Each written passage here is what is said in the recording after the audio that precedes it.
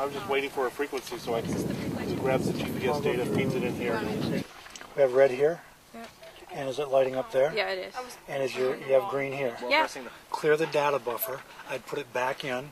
Somebody get a clock going, Andrew, and run it for a certain amount of time. Then turn it off, and then double check it. It's on LSB. Okay, change it to upper sideband. Okay, where does it say upper sideband? Right there. It's just you're changing the megahertz to go from lower sideband to upper sideband. Clear and function at the same time. Ready, go. There should be one control to cycle through the different frequencies. Okay, we're at one minute. I'll tell her when to turn it off. I, you know, I'm kind of a little nervous, but I'm pretty confident that uh, that what we've put together will actually work, and we'll, we'll actually get the data that uh, that we have dis- that we have tried to get, which is uh, correlating uh, correlating water vapor concentrations uh, to altitude.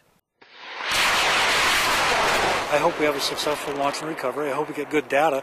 If we don't, gosh, they've had uh, problem solving, critical thinking, collaboration, uh, lateral thinking, deductive reasoning, math skills, language skills, uh, growing up skills, first time experiences.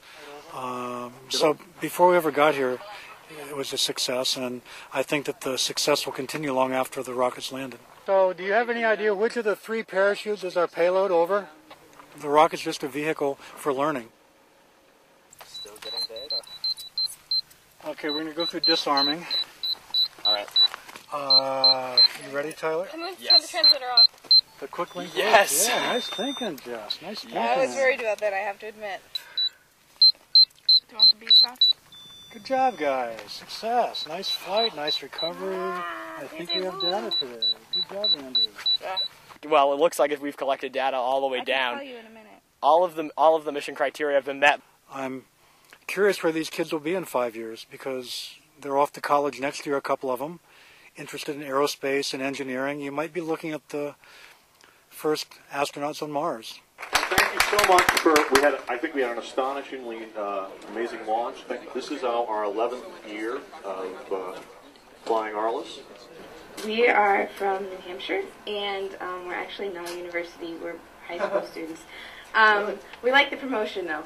Um, we hypothesized that there would not be a significant change in water vapor concentrations and temperature.